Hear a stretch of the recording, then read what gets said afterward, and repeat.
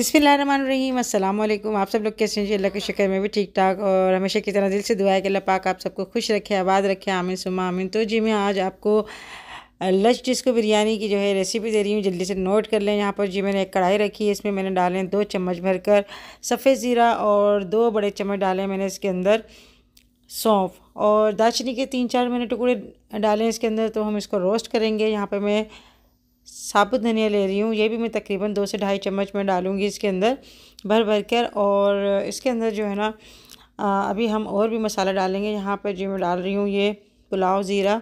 ये अच्छा आप बोलेंगे पुलाव ज़ीरा क्या होता है? एक होता है सफ़ेद ज़ीरा, एक होता है काला ज़ीरा और एक होता है पुलाव ज़ीरा। पुलाव ज़ीरा जो होता है, थोड़ा महँगा होता है, मगर छोटा सा होता है, साइज़ में पतला भी होता है। तो वो मैंने जो है तकरीबन एक चम्मच भर के डाल दिया और यहाँ पे गोल लाल मिर्च डालूँगी मैं। जो है, अपने टेस्ट के मुताबिक मैं डाल रही हूँ यहाँ पे तकरीबन जो है पंद्रह से बीस अदद में जो है गोल लाल मिर्च डालूँगी।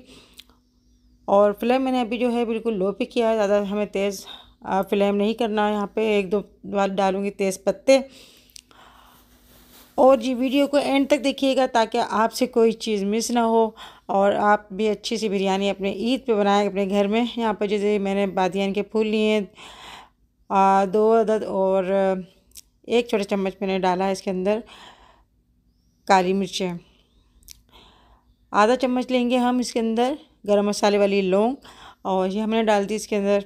और अब जो है ना इसको हमें आ, मिक्स करना है यानी मतलब इसको चलाते रहना है लो फ्लेम में। जब तक इसके अंदर खुशबू ना आने लगे तब तक हमें इसको चलाना है। याद रखें इसका कलर तेज़ नहीं होना चाहिए वरना जो है इस मसाले में जलने की जो है ना वो स्मेल आ जाएगी।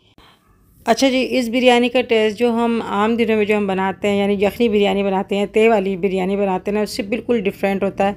यहाँ पर जी मैंने जो है मसालों को हल्का सा रोस्ट कर लिया और उसको मैंने एक बड़ी प्लेट में मैंने फैला दिया ताकि जो गर्म है ना, ये थोड़ा सा ठंडा हो जाए। और इसके बाद हम इसको मिक्सचर में जो है इसको पीस लेंगे।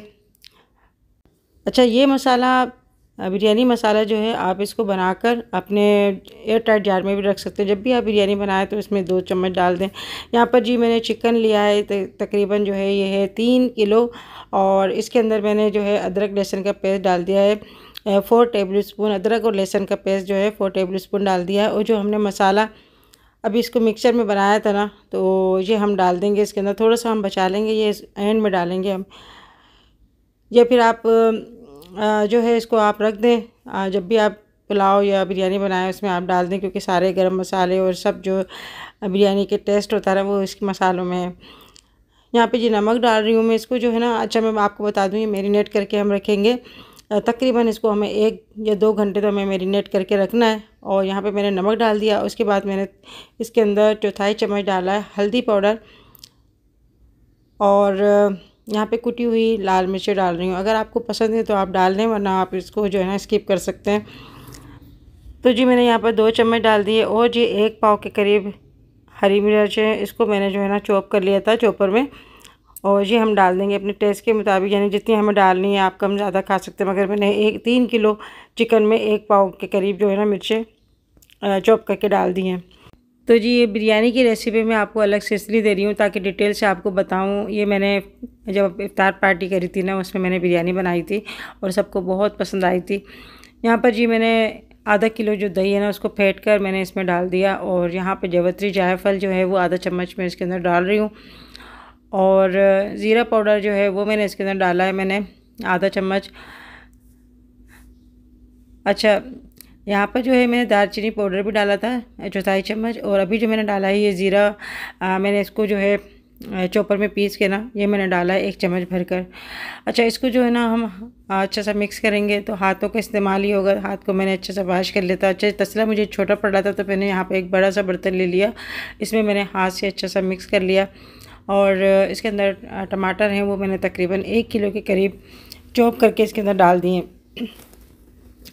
तो जी, सारे जो है ना चीज़ें इसी के अंदर हम मैरिनेट करके रखेंगे। इससे ये होगा कि चिकन जो है ना बहुत ही मज़े का हो जाएगा और आपको जो है ना बनाने में बहुत आसानी होगी। इसको आप रात को भी मैरिनेट करके आप बन करके रख सकते हैं। दूसरे दिन जैसे अगर आप बिरयानी बनाएँ तो टाइम आपका जो है ना वो बच जाएगा। तो यहाँ पे मैंने रात को जो है ना, शहरी के टाइम में मैंने इसको मैरिनेट करके और अभी जो है ना मैं डीप फ्रीज़र के अंदर में रख दूँगी, यानी वो बर्फ़ वाले हिस्से में नहीं, दूसरे वाले जो पार्ट्स होता है ना, फिर आप बोलेंगे इसको बर्फ़ वाले हिस्से में आपने रखा है डीप फ्रीज़र में। तो डीप फ्रीज़र में मेरे दो जो है ना, वो खाने हैं। एक जिसमें बर्फ़ जमती है और एक जिसमें ठंडा रहता है। तो दूसरे जो हिस्सा है ना, जिसमें ठंडा रहता है, वहाँ पर मैं रखूँगी, क्योंकि बड़ी कढ़ाई तो उसमें आराम से आ जाएगी। यहाँ पर जी एक बड़ा सा लीमू जो है ना मैंने उसको काट कर इसका लेमन जूस भी डाल दिया। अगर छोटे हो तो आप दो अदद ले लीजिएगा। ये मेरे पास बहुत बड़ा लीमू था तो मैंने एक डाल दिया। अच्छा लीमू से जो है ना, इसका टेस्ट बड़ा अच्छा हो जाता है, खुशबू बड़ी अच्छी आती है। आप चाहें तो ऐसे भी बारीक बारीक काट के जो है ना, इसमें शामिल कर सकते हैं। तो मेरीनेट करके मैंने रख दिया और यहाँ पर जी मैंने तकरीबन दो ढाई घंटे पहले जो चावल है ना, ये है पीले वाले चावल, जिसको हम कहते हैं सेला चावल। तो इसकी मैं बिरयानी बनाऊँगी और इसको जो है पहले बीनने, यानी भिगोने से पहले हम इसको अच्छे से बीन लेंगे ताकि कोई कंकर, कोई पत्थर कोई तिनका वगैरह ऐसा ना हो जो है बाद में जो है ना मुँह में आ जाए तो ज़रूर बीन लिया बीन लिया करें। अच्छा यहाँ पर जो है ना इसको साफ़ करने के बाद मैंने भिगो दिए चावल। अच्छा मैं आपको बता दूँ, चावल मैंने कितने लिए तो चावल भी मैंने तकरीबन जो है ढाई किलो के करीब लिए थे। अच्छा चिकन में जो है ना हम चिकन की बिरयानी बनाते हैं तो चिकन ज़्यादा डलता है। यहाँ पे जी मैंने बड़ा भगोना ले लिया, आप जो मेरे पास ये छोटी देग है तो अभी जो है ना मैं इसमें ऑयल डाल रही हूँ और ऑयल तकरीबन जो है इसके अंदर जो है मैंने तकरीबन ढाई प्याली के करीब लिया था इसके अंदर। और ज़्यादा मैं ऑयल जैसे यूज़ नहीं करती, आप चाहें तो घी भी आप ले सकते हैं। यहाँ पे एक किलो के करीब प्याज काटी थी और एक किलो प्याज का जो है ना मैं इसमें ब्राउन करूँगी। अच्छा इसी में से मैंने जो है ना सैलीड के लिए भी प्याज मैंने उठा ली थी। क्योंकि हमारे घर में जो बच्चे हैं ना, वो जो ब्राउन प्याज होती है ना, वो बहुत ज़्यादा डाल डाल के खाते हैं और बिरयानी अच्छी भी इसी से लगती है। अच्छा आप बोलेंगे, ये तो पुलाव बनाया आपने, बिरयानी नहीं है, क्योंकि बिरयानी जो है अलग बॉयल चावल करके डालते हैं। तो हम जो लोग जो है ना, यानी हम हैदराबाद के जो लोग हैं ना, इसी को हम बिरयानी बोलते हैं और मुख्तलिफ़ तरीके से बिरयानी बनती है। पुलाव भी मुख्तलिफ़ तरीके से बनता है। यहाँ पे जी मैंने ब्राउन प्याज निकाल ली और यहाँ पर गरम मसालों में मैंने एक बड़ा चम्मच मैंने लिया है ज़ीरा, एक चम्मच मैंने लिया है पुलाव ज़ीरा, इसके अंदर दो तीन तेज़ पत्ते लिए, थोड़ी काली मिर्चें, लौंग लिए और दो दार, दारचीनी के टुकड़े लिए थे, दो मैंने बड़ी इलायची लेके वो डाल दी। और बस इस बात का ध्यान रखना है कि गरम मसाला जले नहीं, उसके बाद मैंने जो है अदरक लहसुन का पेस्ट डाला है, इसके अंदर तीन चार चम्मच भर के हमने मेरीनेट करते हुए भी डाला था अदरक लहसुन। तो यहाँ पर जी जो मेरीनेट करके हमने रखा हुआ था ना चिकन तो काफ़ी ज़्यादा भारी हो गया था। तो मैं यहाँ पर जो है ना आ, उठा के डलवा रही हूँ लड़के से कि भाई इसको पकड़ के डाल दो मुझे डर भी लग रहा है क्योंकि मैंने जो टेम्प्रेरी तौर पे इस तरह से बना रही हूँ। नहीं तो जो होता है कि ईंटें रख के बाकायदा चूल्हा बनाया जाता है उसके नीचे जो है ना अंगीठी रखी जाती है। तो बस अब जल्दी जल्दी में जो है ना मैंने ऐसे रख दिया। मैंने चलो अल्लाह मालिक है। ये हिल भी रही थी थोड़ी सी जो है ना देग है अच्छा देग में बड़ा गर्म रहता है खाना और दूसरा जो है ना ये तांबे की जो देग होती है ना, बड़े मज़े का इसमें खाना बनता है। सारा मैंने जो है ना चिकन मेरीनेट करके रखा था, वो मैंने इसके अंदर डाल दिया। और अभी जो है हम इसको भूनेंगे। यानी इसी के पानी में जो टमाटर और दही के पानी में ना ये चिकन को हमें गलाना है। पानी नहीं शामिल नहीं करना। तो इसको मैंने जो है ना तकरीबन पाँच छः मिनट बाद इसको ढक्कन खोल कर और अब जो है मैं इसको चला कर देख रही हूँ। अच्छा इसको जो है ना एहतियात से चलाना है। चिकन जो होता है बहुत नाजुक होता है, टूटे नहीं। अच्छी बिरयानी या पुलाव का यही निशानी होती है कि चिकन आपका जो है गला हुआ हो, मगर टूटे नहीं। ये जो है ना यही अच्छी बिरयानी का एक आपको देखने में आएगा। यहाँ पे जी मैं डाल रही हूँ, इसके अंदर चिकन क्यूब्स ये किन्नौर के चिकन क्यूब्स है, ये दो इसके अंदर जो होते हैं ना टिकियाँ होती हैं तो दोनों में डाल दूँगी इसके अंदर। तो इससे फ्लेवर आ जाता है इसका, और यहाँ पर जी आप देख रहे होंगे, मैंने तीन प्यालियाँ ली हैं। इसमें मैं तीन कलर जो है ना, इसके अंदर भिगो रही हूँ। ये रहे मेरे पास red colour, red food colour, ये मैं डालूँगी। तकरीबन एक चुटकी करीब दूसरी प्याली में मैं डालूँगी ग्रीन फ़ूड कलर, ये भी एक चुटकी करीब डालूँगी। अच्छा ये बहुत तेज़ कलर होता है तो इसलिए मैं चम्मच से डाल रही हूँ, वरना मैं चुटकी से भी डाल सकती थी। और एक प्याली में मैंने डाला है जर्दे का कलर। तो ये तीनों जो है ना प्यालियों में मैं इसको अच्छे से घोल के रख लूँगी। ये हम दम, जब लगाएँगे ना बिरयानी को, जो हम लश जिसको बिरयानी बना रहे हैं, जब हम दम लगाएँगे तो इसमें हम एंड वे हम यूज़ करेंगे इसको। तो आप खुद देखिएगा कि माशाल्लाह माशाल्लाह बहुत ही खूबसूरत लगेगी। और दूसरा ये है कि जायका भी बहुत ही ज़बरदस्त है।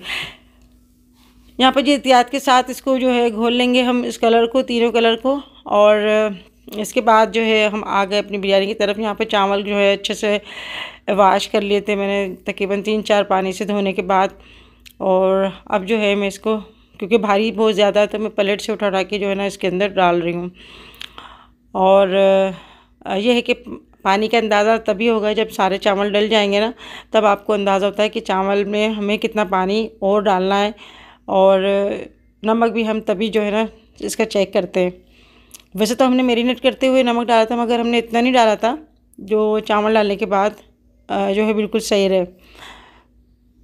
तो जी, बिस्मिल्लाह करके आप खाना बनाएँ, स्टार्ट करें और इन अल्लाह पाक, जो है ना, बरकत भी देता है। जायका भी इन पाक जो है ना वो डाल देता है। यहाँ पर जी सारे चावल डालने के बाद अब मैं डाल रही हूँ इसके अंदर पानी।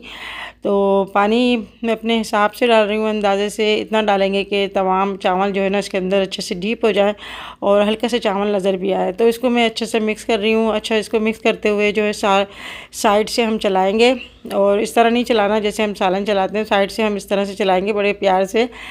अब जो है यहाँ पर मैंने नमक मैंने चेक किया था तो नमक मैं डाल रही हूँ इसके अंदर। तो नमक जब आप डाल लेना तो थोड़ी देर बाद आप इसको हथेली में रख कर और थोड़ा सा आप टेस्ट करके देखेंगे आपकी ज़बान पे हल्का सा यानी नमक का जायका लगेगा ना तो समझे आपके नमक बिल्कुल सही है। क्योंकि चावल में अगर नमक कम होगा ना तो आप ऊपर से नहीं डाल सकते। सालन में तो हम डाल सकते हैं नमक मगर हम बिरयानी या या फिर पुलाव में हम ऊपर से नमक नहीं डाल सकते। तो नमक जो है बिल्कुल परफेक्ट होना चाहिए।